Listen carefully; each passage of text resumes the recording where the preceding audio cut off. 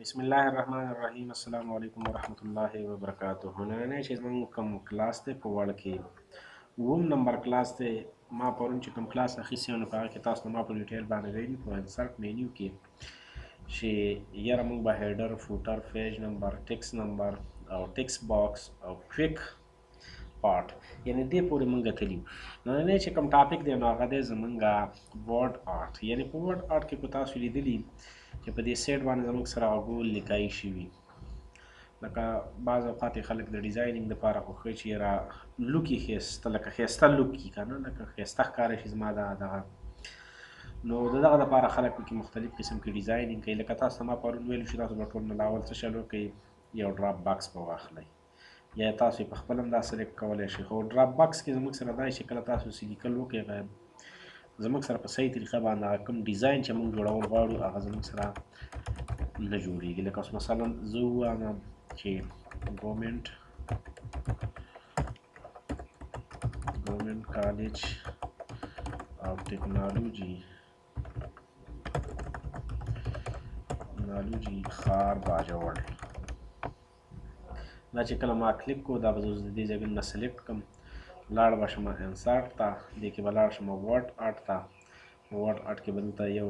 انتخاب وکم دا نه بعد دلته زموږ سره دا آپشن ویزیبل شي یعنی دلته تاسو خیال وکړئ دلته ای لیکل ټیکس افیکټ په دې کې به زه ښکته راکوشم د ټرانسفارم ته او په دې کې موږ ته مختلف قسم کې آپشنې راکړي لکه مثلا زه هم چېرې دا ورانې دي دا دې کلیک کو نو چې کله تا کلیک کو نو زګوره ستا سره څه چالو شو کومه لیکایي چې وه هغه لیکایي ستا سره یو قسم لا په ګولایي شکل کې رااله دا خو ته تاسو ته ډیلیټ کول غواړي لکه دا یخته باکس چې دی نو دا زموږ سره څه شی دی یو قسم لا دا ته زه لږ وراکم چې لږ صحیح شي چې زموږ سره دا باکس ډیلیټ کیږي دا باکس ما ډیلیټ کو نو دا ګوره زموږ سره څه شی شو دا زموږ سره هغه د ګول لیکای طریقه شو چې په وړ کې به موږ ګول لیکای څنګه خل دې نه علاوه یعنی دا به تاسو څنګه کوئ تاسو به لاول په دې ځای کې لیکل وکړئ لکه مثلا زه هم چیرې نور څه لیکلم غواړم ویل چې ټرایبل ډیسټریکټ ټرایبل ډیسټریکټ باجوړ دا ما لیکل وکړو دا به زه سلیکټ کړم دا وخت چې کله ما سلیکټ کړ بیا به لاړ شم ورډ آرټ ته په دې ځای کې به یو ډیزاین سلیکټ کړم هغه په تاسو ډیپینډ کوي چې څنګه قسم ډیزاین سلیکټ کول غواړئ لکه مثلا زه وایم چې زما سره دا بهترین دی نو چې کله تاسو دا سلیکټ کو نو دې نه وروسته به راشي دې ځای کې باندې لیکلی ټیکس افیکټ یعنې خود به خود دا زموږ سره دا فارمیټ چې کوم اپشن دی دا زموږ سره اوپن کېږي په دې باندې به کلیک وکړئ لکه دې لکه تاسو شیډو ورکول غواړئ شیډو هم شی ورکولی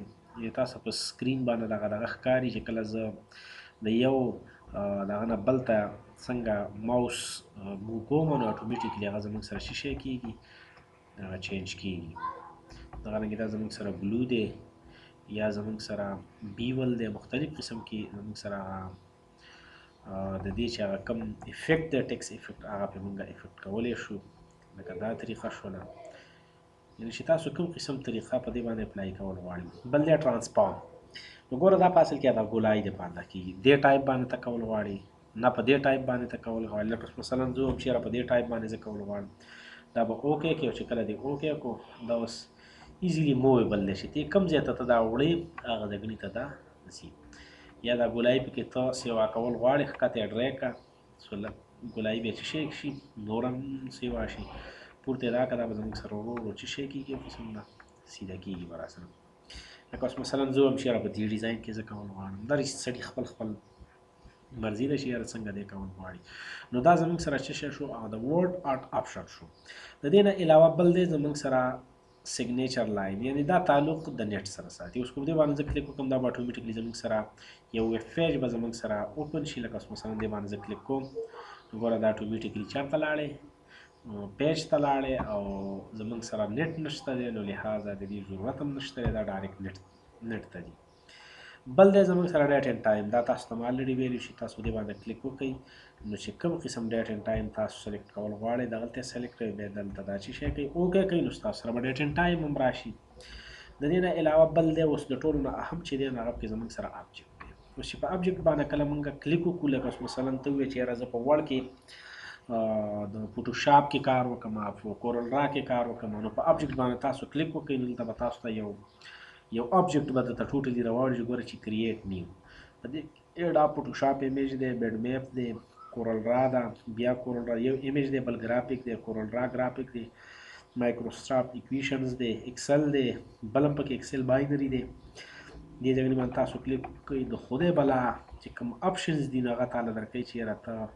لیکل په څه کې کول غواړې یعنې دلته ورکړی چې مایکروسافټ ورلډ 97 ان 2003 ډاکومنټس ورلډ 2003 والا کې هم تاسو لیکل کولای شئ دغه نه علاوه بل دی زموږ سره کریټ پام پایل دې ته ضرورت نشته لکه اوس مثلا زه وایم چې زه په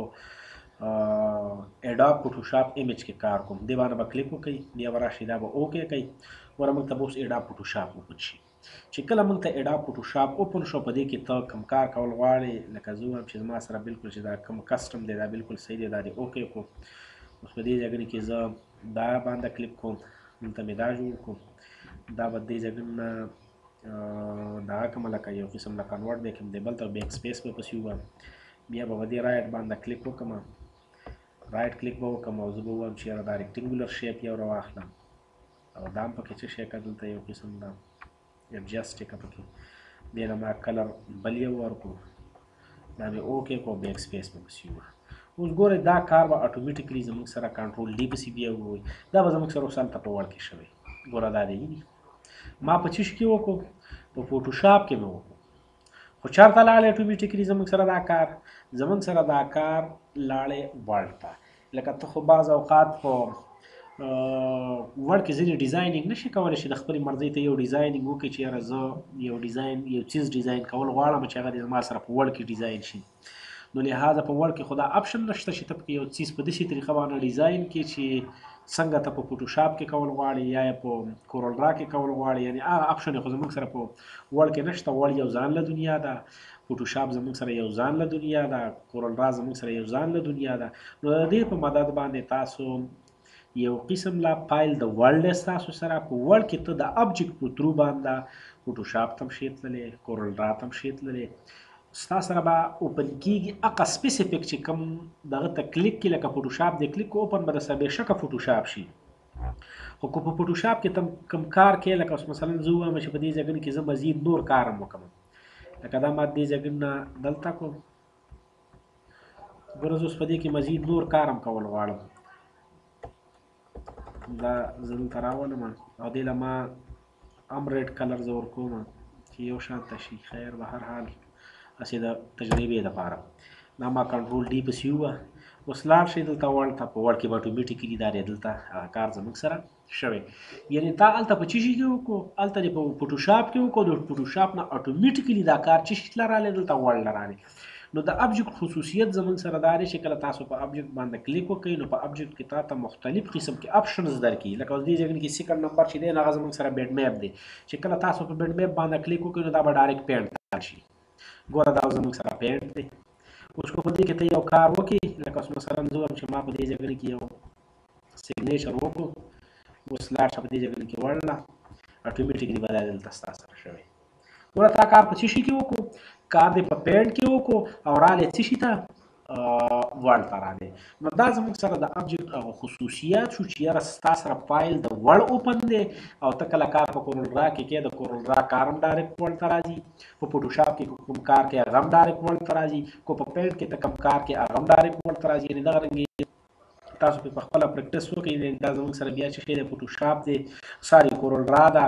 ایکسل دی زموږ سره مایکروسافټ ایکویشن دی مختلف قسم کې یعنی زه هم چې دې ځګن کې دا پاور پوینټ پریزنټیشن سلایډز کلیک کوم دا ما کلیک کو او بیا ما چې شي کو دا چې کله اوکې کو نو ګوره زما سره اوس په دې ځګن کې د پاور پوینټ چې کم سلایډ دی هغه زما سره اوفل شو نو ګوره د دې خصوصیت زمونږ سره دا دی چې ستا سره فایل د وړ دی هم په دغه سیم ټایم په دې کې ته په وړ کې هم کار شي په فوټوشاپ کې هم کار شي کولی په کورل ډرا کې هم شي کولی په پینټ کې هم شي کولی په پاور پوینټ کې په ایکسل کې په ایکسس کې یعنې چې څومره اپشن یې تا ته درکړي په هغه اپشنو کې ته باقاعده کار کولی شي ګوره زموږ سره چې دا کوم مین یو سره دغه شول دا زموږ سره د چی شي شوله دا زموږ سره یو قسم له د پاور پوینټ دا اوس سټارټ شوله چیرې په پاور فایل د ساده ورلډ ته کار په پاور پوینټ کې کول غواړي لکه اوس مثلا زه دلته ولیکم چې ډي آی ټي سیکنډ ټرم سیکنډ ټرم نو کله چې تا دا لیکل وکړو ګوره ستا سره به دې ځای کې رالی شي ډي آی ټي سیکنډ ټرم په دې ځای کې باندې داسې کلیک وکړو لیکل دې په چی شي وکړو ګوره هغه باکس ته بیرته ښکاري شي کله پې کلیک وکړي خو لکه ستا سره دا فایل په چی شي کې رالی اوسو په وړ کې د سر رالی او لیکل دې په چی شي کې وکړو په پاور پوینټ کې دې وکړو نو دا زمونږ سره د چی شي کار شو دا زمونږ سره د ابجیکټ کار شو انتهایی مفید کل چیز دی لکه ځنې خلکو ته دا علم شته ځنې کسانو ته دا علم نشته لکه ما عقل خو کمزوری دی مې بي چې زما نه په خلک ښه په ایډوانس باندې پوهیږي خو لکه زما د نالج مطابق ډیر مفید کل چیز دی دا د دې نه علاوه بل دی زمونږ سره ایکویشن اوس چې کله تاسو په ایکویشن باندې کلیک وکړئ نو په دې ځای کې به تاسو سره یو باکس اوپن شي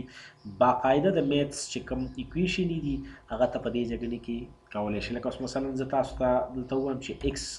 ګوره ایکس مې دلته ولیکو بیا مې دلته کلیک وکړو چې کله ما کلیک وکړو نو په دې ځای کې راشي دې له پاور ورکړئ دوه ولیکه بیا د دې نه بعد دې له یو سپیس ورکا دا پاور بیرته ختم کا د کلیک سره بیا شپ پلس بټن وګوره بیا لاړ شه دلته د انسرټ ته بیا لاړ شه د ایکویشن ته په دې ځای کې بیا ایکس ولیکه بیا دلته کلیک وکړه چې کله دې کلیک وکړو نو بیا راشه په دې ځای کې بل یو پاور ورکړه ټو ولیکه بیا دلته کلیک وکړه دا پاور ختم کا بیا په دې انسرټ باندې کلیک وکړه دلته لاړ شه د ایکویشن ته په دې ایکویشن کې دلته ته ورکړه چې یاره مساوي هي نو د مساوي نه رستو تا ولیکو چې دو او ایکس اوس پاور دلته لیکل نشي نو لهدا زه به دلته سې کلیک وکم دلته په دې پاور کلیک وکم او دو به ولیکم نو زما سره به چې شي شي ګوره دا تاسو څه شي کوي دا زه سلیکټ کوم لکه دا سایز زه له غټ کوم دا سایز یې ګور کوټه دي چې مونږ ته په صحیح طریقه باندې ویزیبل شي یعنی راته ښکارا شي ګوره صحیح شولا نو تاسو به دې کې د میتس لیکل هم شي کولای کوېشن پکې هم سالو کولای شي یا دغه نه علاوه تاسو په دې ځګنی باندې په دې یخته دغه باندې ټیګ باندې تاسو کله کلیک وکړئ نو ګوره په دې ځګنی کې مونږ ته څه شی وشي د میتس هغه ریډی میټ یو قسم له کوېشن مونږ ته راشي چې یاره په کوم قسم باندې ته لیکل کول غواړي لکه دا په دې کې چې دا ټایپ کوېسچن دی لکه دا ټایپ ټایم ډېر اخلي نو په دې کې ته کلیک وکړه او چې کله دې کلیک وکړو نو ستا سره به دغه دلته کریټ شي اوس په دې جګړې کې ته یو یو کلیک کوه او لکه دا ایک دې ته ورانول غواړې دا دې وران کړه په دې جګړې کې دو ورکړه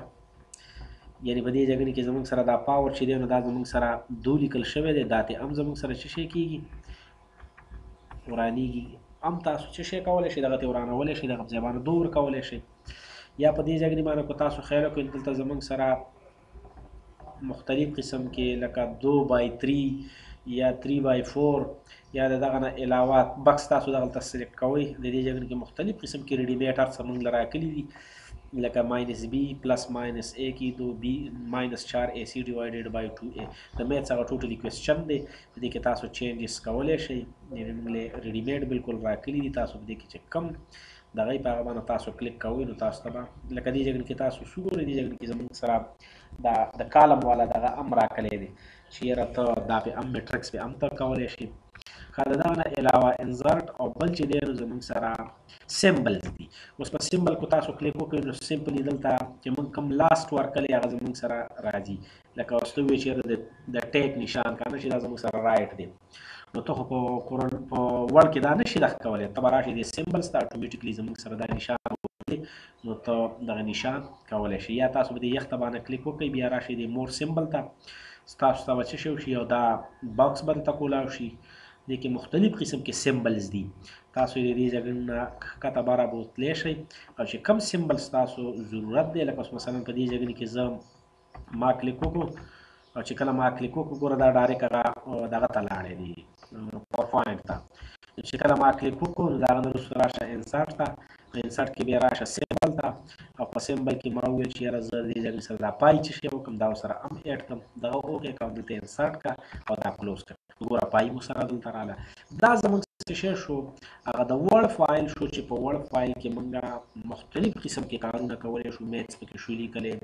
دا غنه علاوه په فوټوشاپ کې چې کارو کو هغه پکې شو کولې کورن را تاسو پریکټیکلی ولیدل دا نه نه ورځې لپاره ودا کافي ان شاء الله بس تاسو که خپل پریکټس وکي او چې څه مشکل و دته تاسو زمانه تپوس کولای شئ زما ورونه وي ان شاء الله څه مسله به نه او کو تپوس نه کوي ګوره دا بس تاسو خپل کمزوري ان شاء الله د نننۍ ورځې پورې دا کار کافي دی په نیکس کلاس کې به موږ د پیج لیاوټ په اړه کې په ډیټیل باندې خبرې کوو چې په پیج لیاوټ کې به زموږ سره څه شي څه شي نو السلام علیکم ورحمت الله وبرکاته